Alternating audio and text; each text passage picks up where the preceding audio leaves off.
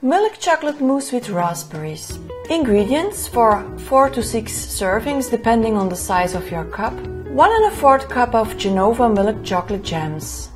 4 eggs, 4 tablespoons of sugar and a cup of raspberries. Preparation.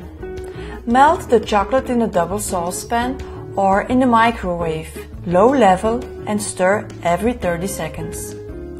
Beat the egg yolks with the sugar until the mixture turns pale. Add the melted chocolate to the eggs. In a separate bowl, beat the egg whites until they're stiff.